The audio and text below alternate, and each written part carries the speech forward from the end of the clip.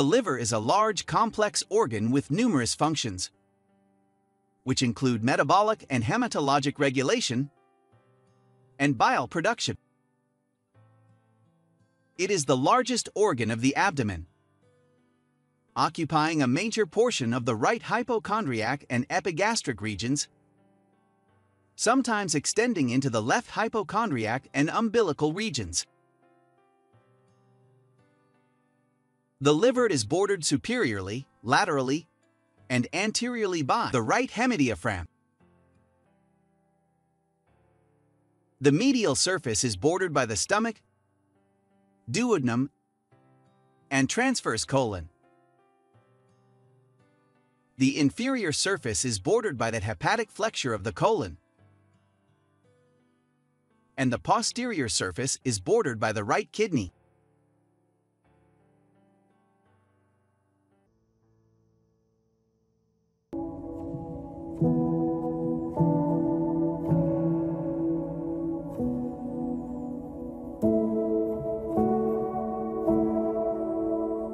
The liver is surrounded by a strong connective tissue capsule, Glisson's capsule, that gives shape and stability to the soft hepatic tissue. It is also entirely covered by peritoneum except for the gallbladder fossa, the surface opposed to the inferior vena cava, and the bare area, which is the liver surface between the superior and inferior coronary ligaments. The liver is attached to the diaphragm via the right and left triangular ligaments, which are extensions of the coronary ligaments.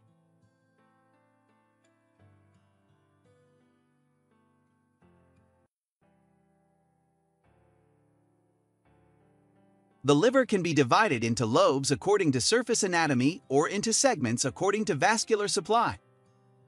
The four lobes commonly used for reference based on surface anatomy are the left, right, caudate, and quadrate. The left lobe is the most anterior of the liver lobes, extending across the midline. The right lobe is the largest of the four lobes and is separated from the left lobe by the interlobar fissure.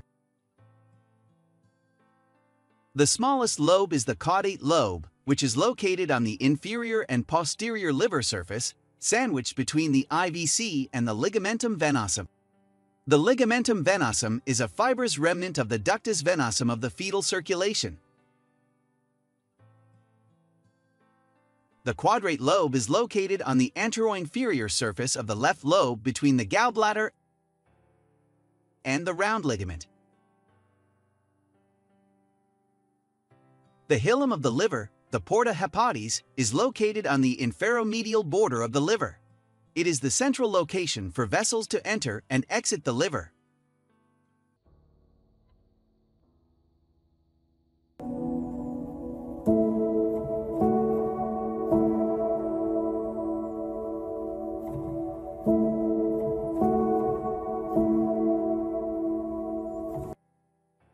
Within the liver, there are several main grooves or fissures that are useful in defining the lobes and boundaries of the hepatic segments.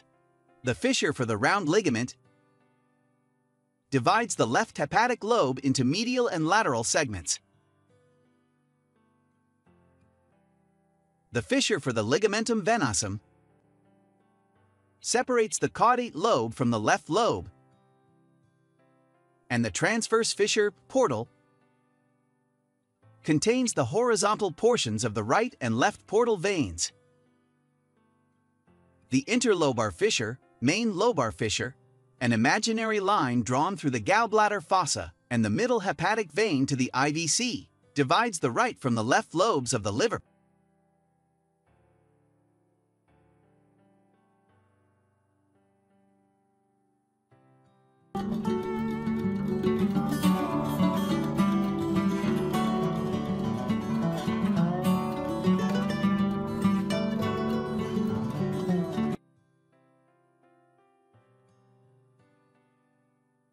Current practice favors the division of the liver into eight segments according to its vascular supply, which can aid in surgical resection. According to the French anatomist Couinaud, the liver can be divided into segments based on the branching of the portal and hepatic veins. The three main hepatic veins divide the liver longitudinally into four sections. The middle hepatic vein divides the liver into right and left lobes. The right lobe is divided into anterior and posterior sections by the right hepatic vein, and the left lobe is divided into medial and lateral sections by the left hepatic vein. Each section is then subdivided transversely by the right and left portal veins, creating eight segments. Each segment can be considered functionally independent. Each has its own branch of the hepatic artery, portal vein, and bile duct, and is drained by a branch of the hepatic veins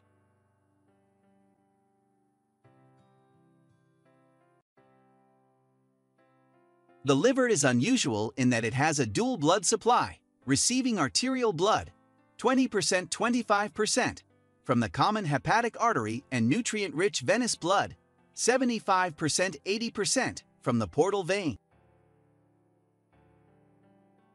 The common hepatic artery usually arises as one of three branches off the celiac trunk, coursing to the right to enter the lesser omentum anterior to the portal vein. It branches into the proper hepatic and gastroduodenal arteries just above the duodenum. While within or just before entering the porta hepatis,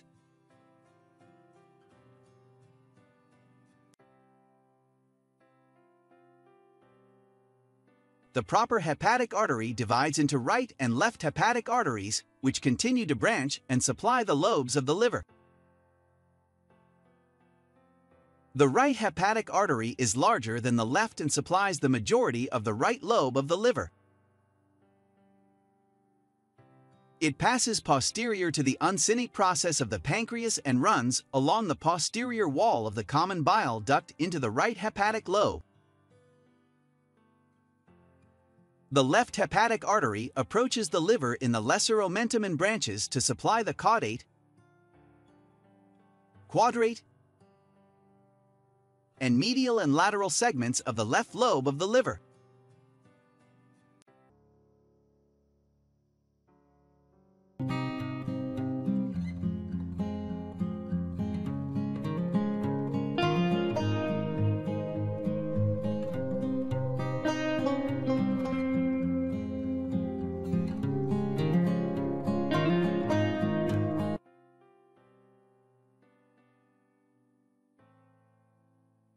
The venous drainage of the liver occurs via the small interlobar and intersegmental hepatic vessels that merge into the three major hepatic veins, emptying directly into the IVC just below the diaphragm. The right hepatic vein, the largest, lies between the right anterior and posterior hepatic segments. Drain segments 5, 6, and 7 and enters the IVC at the right lateral aspect. The middle hepatic vein lies in the interlobar fissure. Drain segments 4, 5, and 8,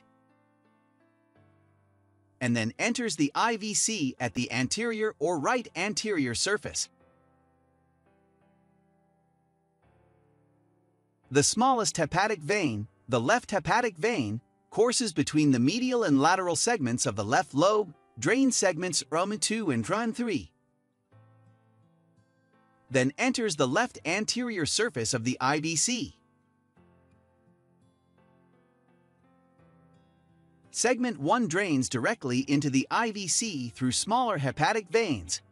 Frequently, the middle and left hepatic veins converge to form a common trunk before emptying into the IVC just below the diaphragm. The IVC lies in a groove along the posterior wall of the liver and ascends into the thoracic cavity through the caval hiatus of the diaphragm and enters the right atrium of the heart.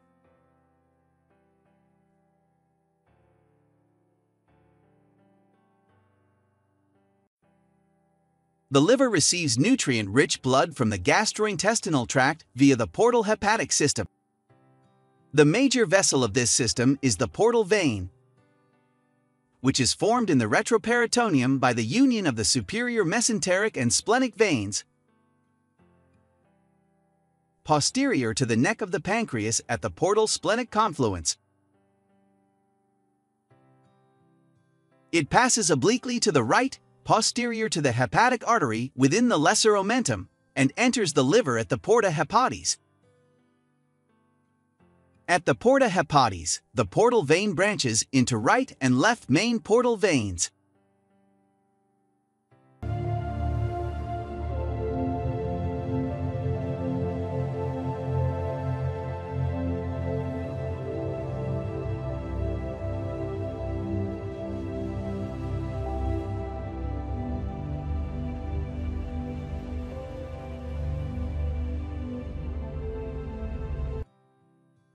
That then follow the course of the right and left hepatic arteries. The right main portal vein first sends branches to the caudate lobe, segment 1, and then divides into anterior and posterior branches that subdivide into superior and inferior branches to supply the right lobe of the liver, segments 5, 6, 7, and 8. The left main portal vein initially courses to the left, then turns medially toward the ligamentum teres. It branches to supply the lateral segments, segments 2 and 3 of the left lobe, and the superior and inferior sections of segment Roman 4.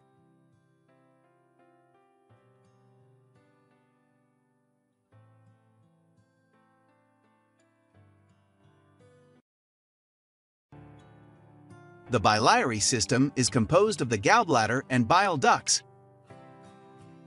both intrahepatic and extrahepatic, which serve to drain the liver of bile and store it. The hollow, pear-shaped gallbladder is located in the gallbladder fossa on the anteroinferior portion of the right lobe of the liver, closely associated with the interlobar fissure. It functions as the reservoir for storing and concentrating bile before it is transported to the duodenum. The gallbladder can be divided into a fundus, body, and neck. The fundus is the rounded distal portion of the gallbladder sac that is frequently in contact with the anterior abdominal wall. The widest portion, the body, gently tapers superiorly into the neck. The narrow neck lies to the right of the porta hepatis and continues as the cystic duct.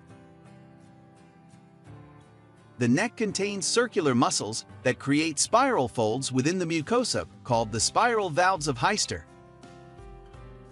These valves are particularly prominent at the bend, formed by the neck and cystic duct a common area for gallbladder impaction during acute or chronic cholecystitis.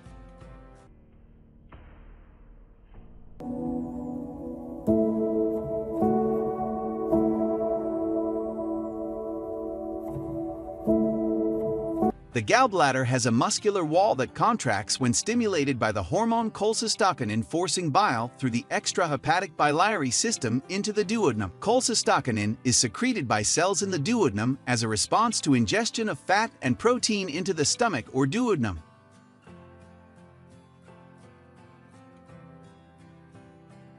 Bile is an alkaline fluid formed within the liver and stored in the gallbladder to be discharged into the duodenum for assistance in the digestion and absorption of fats and elimination of cholesterol and bilirubin from the body.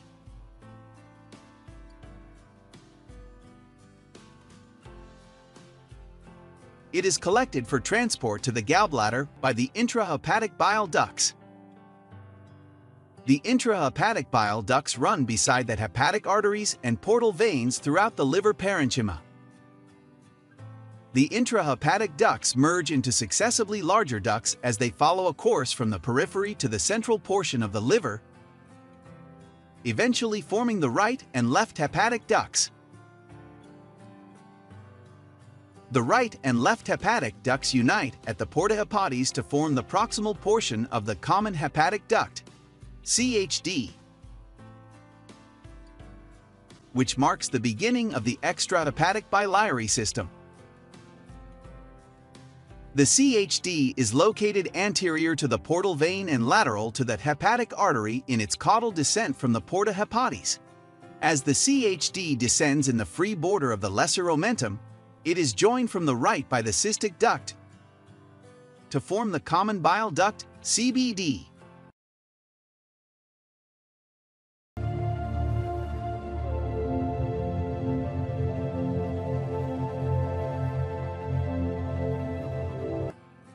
The CBD continues at caudal descent along with the hepatic artery and portal vein within the hepatoduodenal ligament.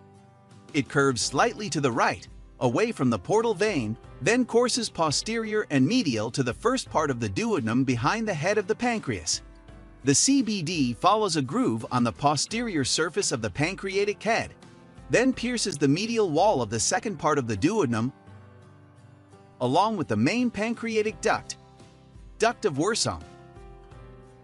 Through the ampulla of Vater. The ends of both ducts are surrounded by the circular muscle fibers of the sphincter of Oddi.